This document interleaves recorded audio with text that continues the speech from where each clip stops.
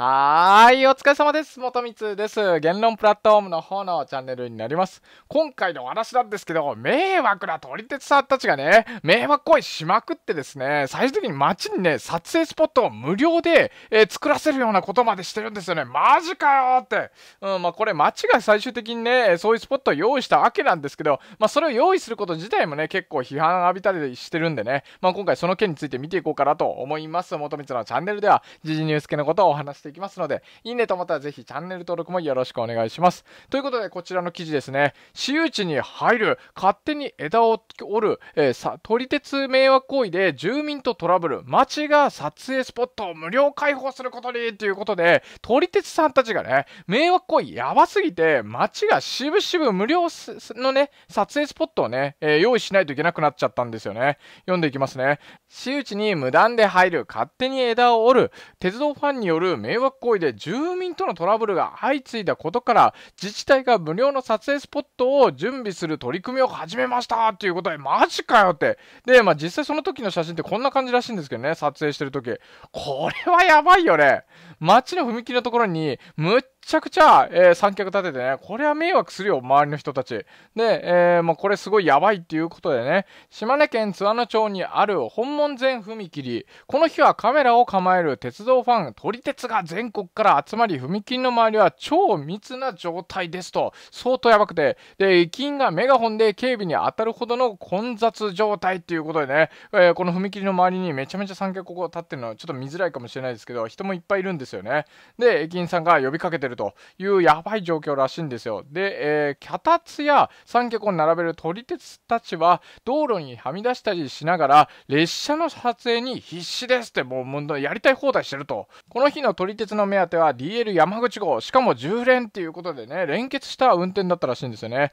ファンにとっては SL もさることながら実はディーゼルの DL も相当人気なんだとかって、まあこんな感じで人気があるというのはまあまあまあね、えー、わかるんですけど、じゃあやっていいことと悪いこととってありますよね。で、この踏切は長い直線のちょうど真ん中付近にある絶好の撮影スポットで、全国から撮り鉄が訪れますとめちゃめちゃスポットなんですよ。ただトラブルもということでね、この津和野町の観光課のね、課長さんが、こちらの方で多くの方が写真を撮られています。ただ、現地の道路がちょうどなんですけど、狭いところでそこに多くの方がいらっしゃいますので、地元の方とちょっとトラブルが起きたりすることが以前からありました。そりゃそうだよね。まあ、こんなにめちゃめちゃ、えー、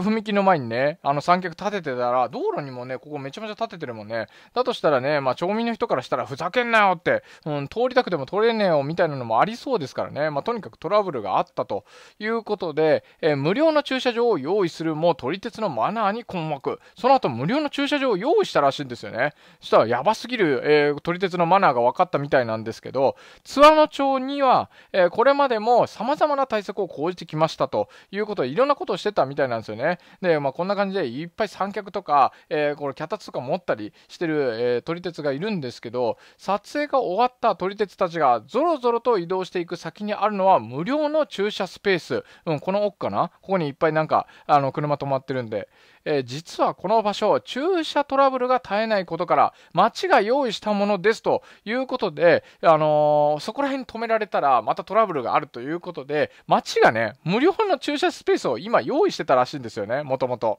で、えー、ただ、そこに掲げられた看板を見ると、立ち小便現金、エンジンをかけたままの駐車により、住民の皆さんが困っています。地元の方はマナーの悪さに困っているようですと、無料の駐車場用意したら用意したで、めちゃめちゃマナーが悪かったらしいですよ。まあ、その写真がこれなんですけど、無料駐車場っていうことで用意してるんですけど、ここ、えー、注意書きでね、立ち小便現金ってもう赤字で書いてたりするんですよね。はあって、無料で用意してもらってるのに立ち小便したりだとか、エンジンをかけたまま駐車しないでくださいとか、まあ、これね、一回は何かそういうことをしてる人がいたから、こうやってね、えー、注意書き書いてるんでしょうけど、ひどいよね。まあ、この写真を見るだけでもかなり治安が悪いんじゃないのかなと思いますね。アイドリング駐車禁止とか、いろんなね、こんな注意書きとかの看板があったりだとかね、多小便禁止とか、はあってなりますよね。ね、もうこれ大体、えー、この撮り鉄のために作ってるというわけなんですけど、かなり使われ方がやばいということですよね。で、撮り鉄の中には無断で付近の私有地に入ったり、木の枝を折ったりする人もいるとのこと。えーって、元光もこの間のなんか、あの、記事でお話ししましたけど、木の枝を折ったりするっていう人がいるらしいんですよ。私有地入ったりとかね。ダメだっつってんじゃん。なんんでそんなことするんだろうね。で、そこで町は地元の人と相談して、踏切横の急行電170平方メートルを撮影場所として無料開放することにしましたって。え？ちょっと元光はこれがね、よくわからなかったんですけど、あの、無料駐車場を用意したら下で、まあいろいろマナー違反だとか、また問題が増えたわけですよね。で、その後、撮り鉄がね、えー、撮りたい場所が、えー、周知が入ったりだとか、木の枝折ったりするから、じゃあ無料のスポットを用意しましょうってなったらしいんですけど、これって解決に向かうのかなって正直思っちゃいましたね。うん、ただまあ町としてもね、まあその地方の町なんで、やっぱり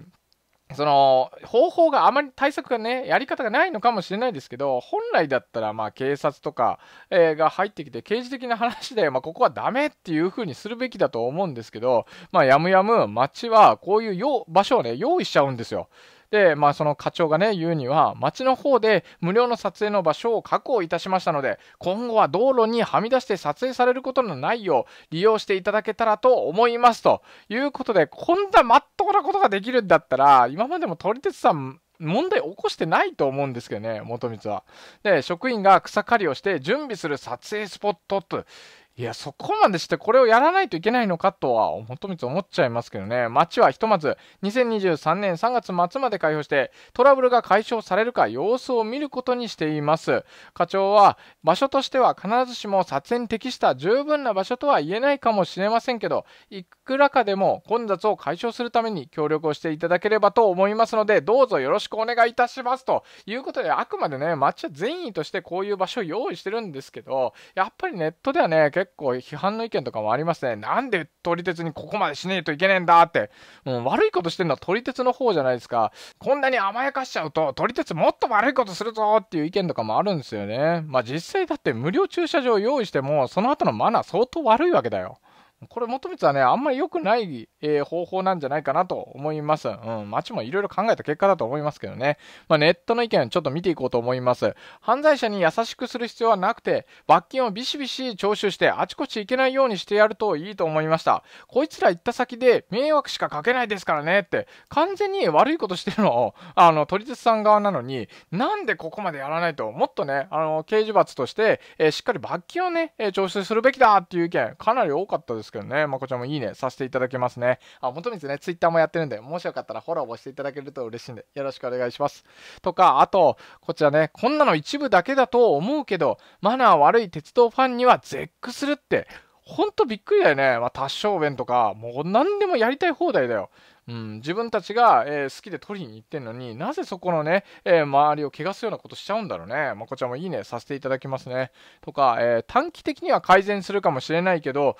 長期的には悪手に見える。こういう事例ができたということで、当該地以外にも、え影響を及ぼしそうだしということで、撮り鉄に、まあ、こういう無料スポットを作るのが当たり前っていう、そんな前例を作ること自体がおかしいんじゃねえのかっていう意見ですよね。まあ、本当、求めてもそうだと思うんですけど、こちらもいいねさせていただきますね。とか、あと、撮り鉄は勝ったとか思うなって、う、これだけね、いろいろ、あのー、まあ、迷惑行為とかしてきて、最終的にね、何でも用意してくれる。うん、もう、子供に対してお母さんがやってくれるみたいな感じになってるんですよね。うん、いろいろこのわがままばっか言えば。もうこれで撮り鉄は勝ったよっしゃーって、じゃあもっといろいろあのわがままにやろうみたいになっちゃう傾向もあるんじゃないのかなと、元光は心配になっちゃいますけどね。ゴミが散らからないようにゴミ箱に集めただけだからなって、勘違いすんなよっていうような意見とかもありますね。こちらいいねさせていただきますね。とか、あと、なんで無料にするん？どこかのキャンプ場では、有料にしたらマナーが良くなったという記事を最近見かけたが、無料で入らせたら治安がさらに悪くなりそうなのだがと、そうそう、無料でこういうのを用意するって、